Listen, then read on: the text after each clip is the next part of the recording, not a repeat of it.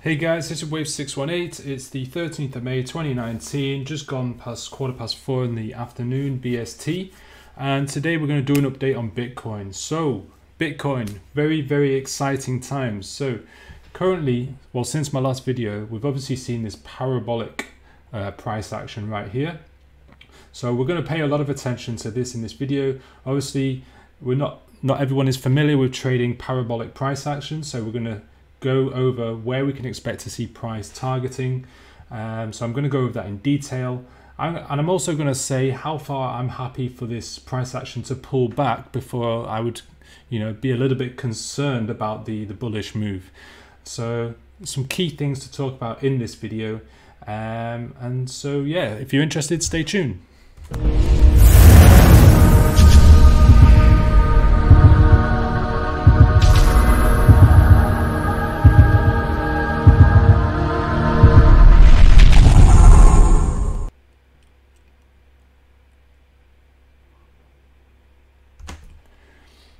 Guys, so let's talk about Bitcoin.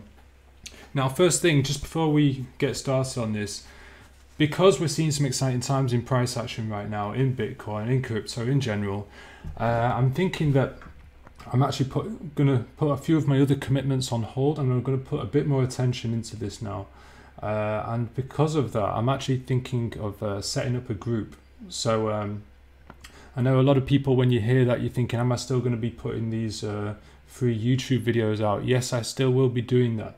Obviously, I'll be putting a bit more attention to the group. Um, it has to be value for money, and I'll make it very affordable also. I know a lot of people have been hit hard by this um, collapse in Bitcoin, so um, obviously I'll take that into account.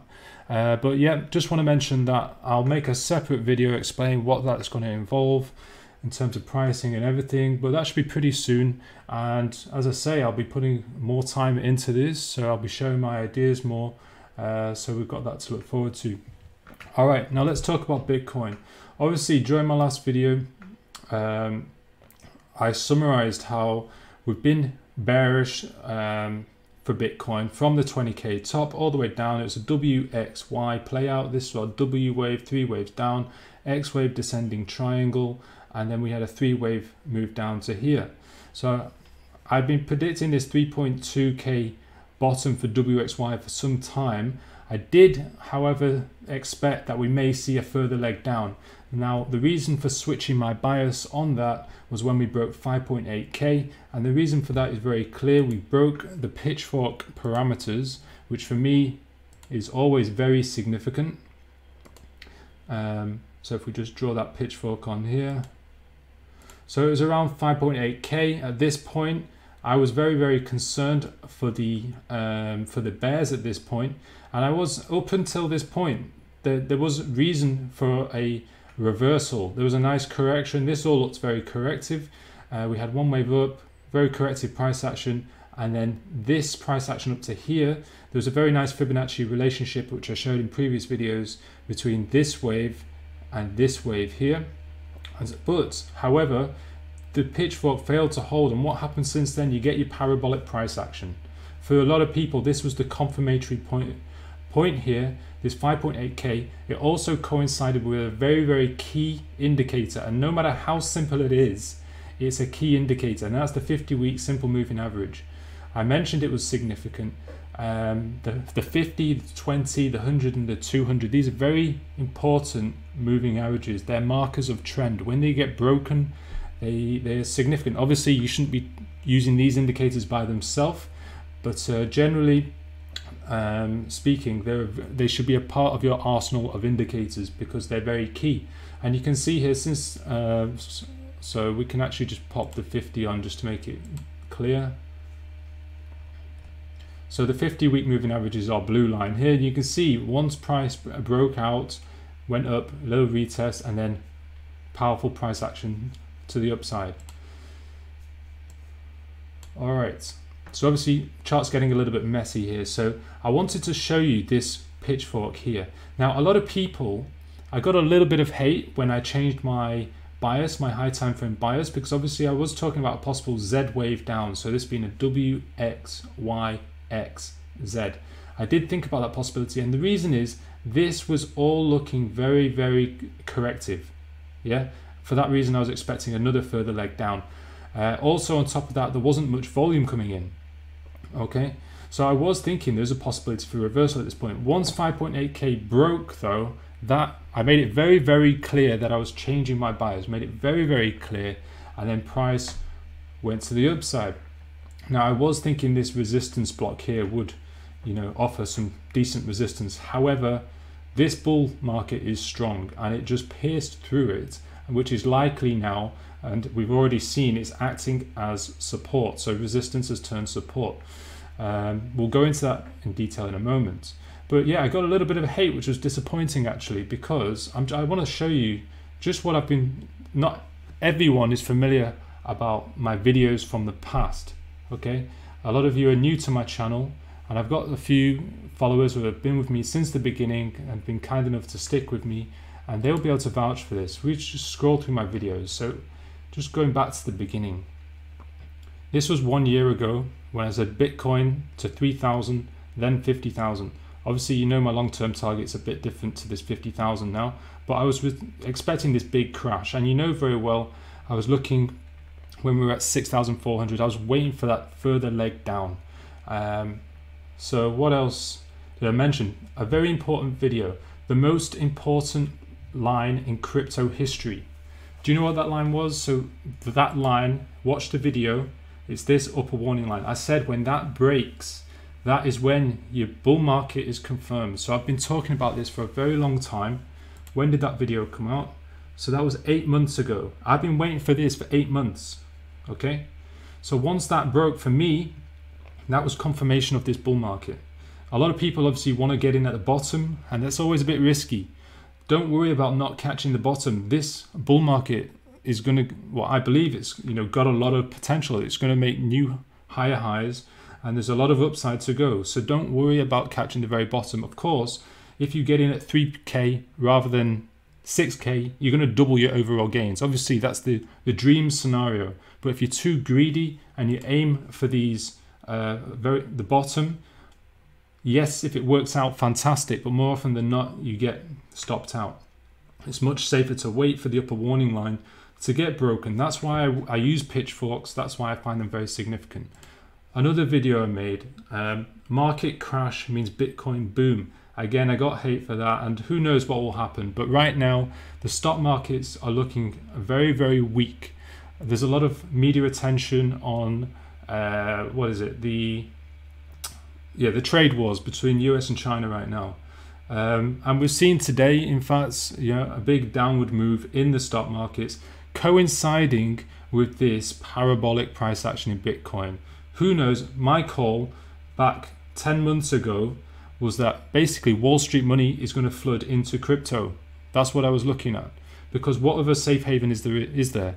And yes, we may not know how safe crypto is, but the insiders will know. And it's very reassuring for me to see Bitcoin moving up as the stock markets are moving down. Check out that video. Uh, check out the most important line in crypto history. Um, these are these are calls I've been making a long, long time ago. So uh, yeah, it was a little bit disappointing to get a bit of hate when I said that we're switching to bullish at this point. All right, but anyway, let's focus on the video. So uh, Bitcoin, I was. It's a shame I didn't make this a bit earlier because it's actually moving to the upside now. Um, but this block was a very key block. If we just bring on volume profiles now, Here we go.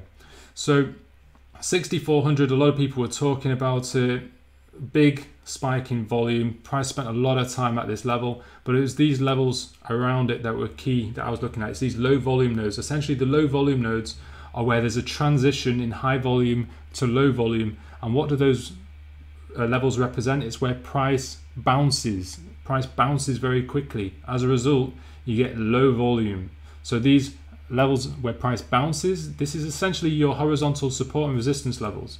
So I, have marked out this level, this level here. You can see big transition here from high volume down to low volume, and again here, low volume. Price broke through these horizontal levels very, very nicely. Going in on the daily now, we broke through, retested, and we're going higher. obviously I've not actually mentioned this downward channel. Let's get rid of this pitchfork. I think I've mentioned everything I need to mention about it. Um, so this downward channel, you can see basically all I've done, I've connected this low with this low using magnet mode to ensure that the, the absolute points are used. Then it's the parallel tool, this tool down here, that is used to then connect with this high and then the lines extrapolated down here and you can see what's happened. So we've broken through it, broken through it and retested. Yeah, now we're moving to the upside. Okay, now the big question on everyone's mind, how high are we going to go? When should we be taking profits? These are the big questions. Okay, so let's have a look. Um, in fact, daily time frame is probably ideal for this one. Let's take off the volume, clean up the chart a little bit. All right. Now, I'm going to talk about this. I'll talk about it a little bit later on. But I, for me, a lot of people are starting their count from here, one, two, and then calling this the major wave three. I'm, I'll address this shortly, but basically this could be a failure wave of the downward trend. Yeah. So this could be corrective and then an attempt to go lower, which failed, in which case you start your count from here. And um, there's a very I've been so I've been counting from here. Either way, if you want to call this wave one, this two, and this three, let's focus on the count from here. So basically, one, two, three, four, five waves up, A, B, C down. Uh, take magnet mode off, and yeah, so high. So this is our fib extension tool. All right. So how high have we come up? We've got a one, two, and then we've got a one, two, three, four, running flat four. The running nature of it, as I mentioned previously, is very bullish. You know, usually corrective patterns come lower. This was running a running flat, which shows us bullish momentum. Price then, look at this parabolic move, confirming the wave five nature. If you check out my video, I think two videos back, I talked about Bitcoin's parabolic nature. Um, and so in the fifth wave, we get that parabolic spike. So obviously this spike, following the completion of this spike, we're going to get a bit of a pullback. Now, how high is it going to go? So we've got a wave one, two. I thought there was a possibility we hit the 4.236 fib extension and we there was a possibility of reversal. You can see this daily candle here, this red candle, bit of a pullback. All it managed to do was come back as far of as this um, resistance turn support level, this block that we marked out around 6400 with this level being around 6700. Retested this level, now we're going higher. Where is my target? My target is up here, 6.84 fib extension, 9500. Um, so that's the level I'm looking at. Now, let's just by the time I publish this video, probably we could even be there, but uh, hopefully uh, I'll be able to do it a bit quicker than that. But anyway, volume at price or volume profiles, let's just mark out the key levels. So basically, as I mentioned, it's where high volume suddenly becomes low volume. These are our transition points. This is where price bounces. It marks out our key horizontal levels. So using a horizontal ray tool. Um, so we just want to plot points to the north side of here. So uh, volume, so we came up to here. There was a big transition in high volume to low volume. That marked this top at the 4.236. So there was a bit of confluence to fib extension here and low volume. So taking this out is key and it's likely to act as uh, support now. Okay, next major horizontal turn resistance is around here. So coming across. Yeah, so it's in keeping with this high essentially. In fact, let's just bring it all the way across. Let's include all the price action. So it's here. So you can see here price did a little bit of consolidation here. Um, and then again, a bit of consolidation at that level and big turnaround in price there and you can see it's represented here transition in high volume to low volume so there's going to be a little bit of resistance at this level. And what level is this? So this is 70.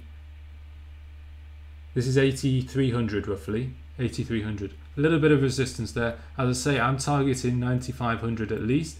That's the 6.84 fib extension. Um, and that coincides with a very key uh, horizontal level. Reason being, we've got the volume profile diminishing there.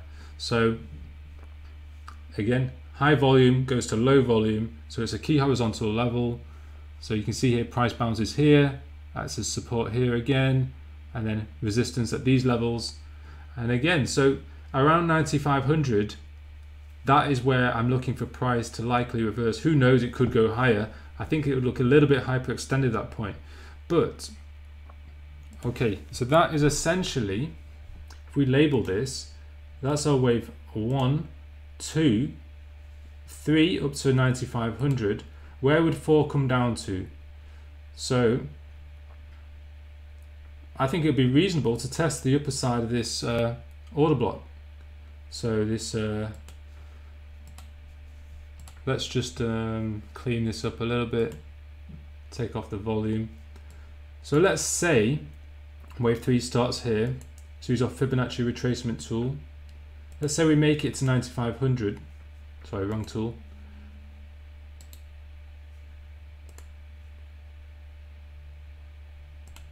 Yep, so let's say we make it up to here. So retracement, let's with a with a parabolic move, you expect quite a bit of retracement with the, for the wave four.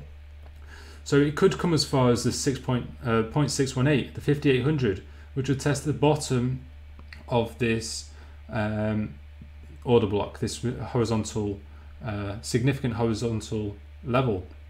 Um, and it may do that in keeping with this downward sloping channel line also. So that'd be good to see, something around here. So that's a, just a possibility for now. I'll be doing more, you know, I'll be doing more videos so we can have a look at that closer. But for now, that's a possible play out. So a wave three up to here, possible wave four coming down to here. But who knows? This this market could really have legs. It may even push beyond the 6.84 fib extension. However, that's just an initial target.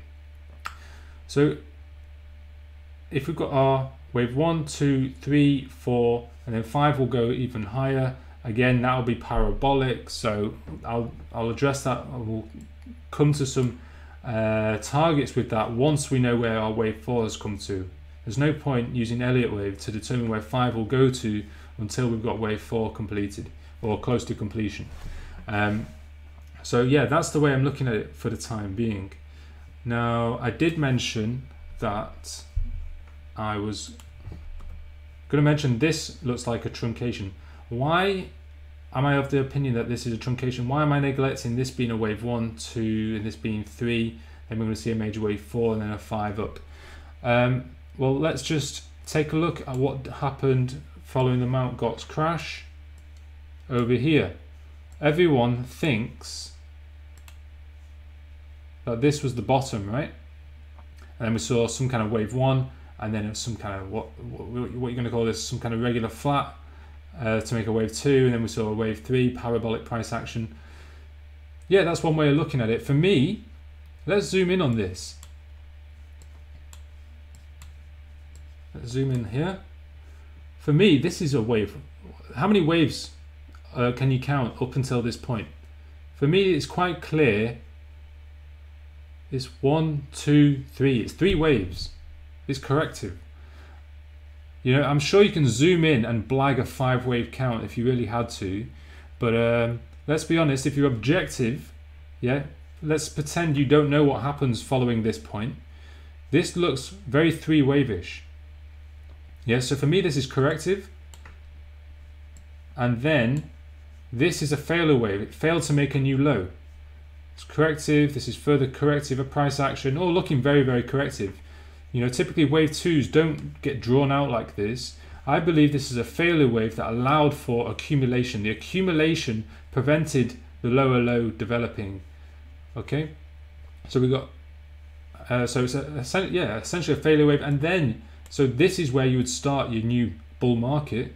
One, two, three, four, or in fact four, maybe even longer. You could call this a triangle A, B, C, D, E, and then you go even higher.